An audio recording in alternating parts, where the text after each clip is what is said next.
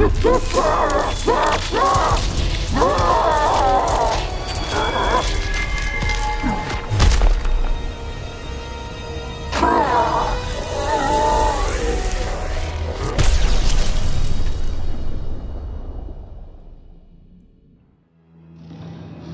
gran maestro Sub-Zero sabía que su clan, Lin Kuei, necesitaría algo más que artes marciales para evitar futuras amenazas a la Tierra.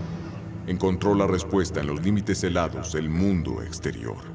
Una dragona de hielo con una puesta de huevos.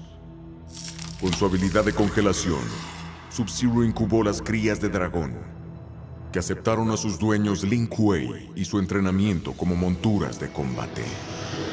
Gracias a su sección de jinetes de dragones, la ferocidad de los Lin Kuei se convirtió en legendaria.